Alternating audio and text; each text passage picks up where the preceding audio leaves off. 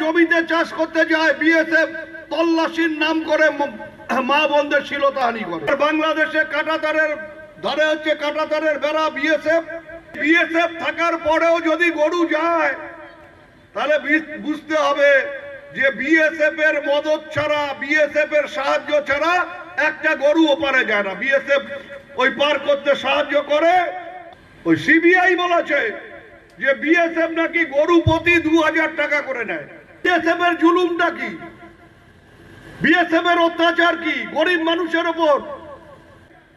গরু কি নেপালে যায়? গরু কি ভুটানে যায়? গরু কোথায় যায়, আপনারা জানেন না?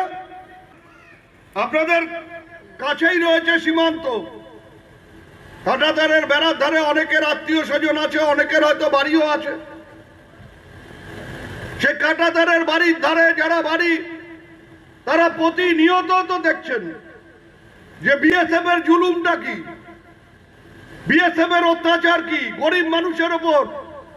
ওদের কাছে মহিলা পুরুষও বাদ মহিলারও বাদ যায় না। পুরুষদের ওপর অত্যাচার তো করেই, মহিলাদেরও বাদ দেয়।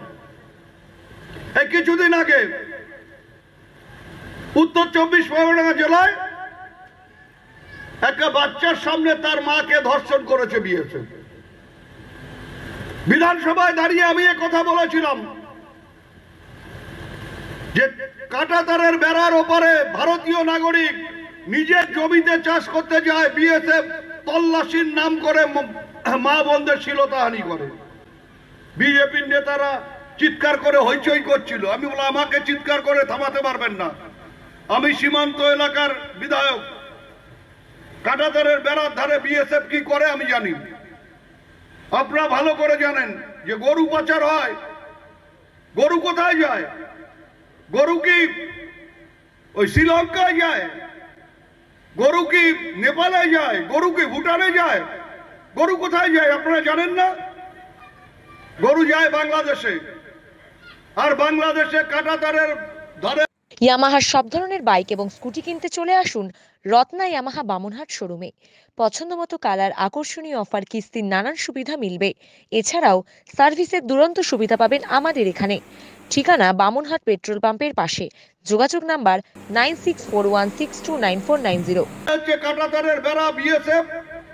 সেই বিএসএফ থাকার পরেও যদি গরু যায়, তাহলে বুঝতে হবে যে বিএসএফ এর মদত ছাড়া বিএসএফ এর সাহায্য ছাড়া একটা গরু ওপারে যায় না। বিএসএফ ওই পার করতে সাহায্য করে, আর সাহায্য করা শুধু না, ওই সিবিআই বলেছে যে বিএসএফ নাকি গরু প্রতি দু হাজার টাকা করে নেয়। গরু পাচার করতে দু হাজার টাকা নেয়। তাহলে চাকরি দেওয়ার জন্য ওই স্কুলের চাকরি তাদের নাকি দুর্নীতি হয়েছে। তার জন্য শিক্ষামন্ত্রী পার্থ চ্যাটার্জি জেলে। বিচার হবে। যদি সত্যি সত্যি দোষী হন, শাস্তি হবে। দল তাকে ইতিমধ্যে দল থেকে বহিষ্কার করেছে। রাজ্যের পুলিশ না, কেন্দ্রের পুলিশ।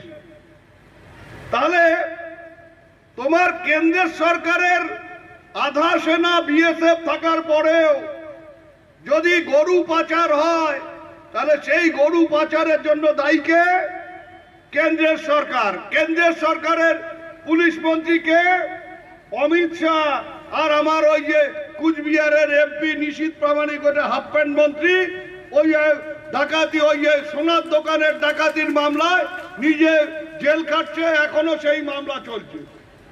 তাহলে পার্থ চ্যাটার্জি যদি নিয়োগ দুর্নীতির কারণে ইডি বা সিবিআই তাকে গ্রেপ্তার করে তাহলে গরু পাচার কারণে করার কারণে, কয়লা পাচার করার কারণে, ওই কেন্দ্রের বাহিনীর যারা মন্ত্রী, অমিত শাহ, নিশীত প্রামাণিক, ইডি আর সিবিআই ওদের দুজনকেও গ্রেপ্তার করা উচিত যে ওরা ওদের মন্ত্রী দপ্তর, সেই দপ্তরের বিএসএফ, সিআইএসএফ, তারা গরু পাচার আটকাতে পারছে না, কয়লা পাচার আটকাতে পারছে না, তাদেরকে কেন গ্রেপ্তার করা হচ্ছে না?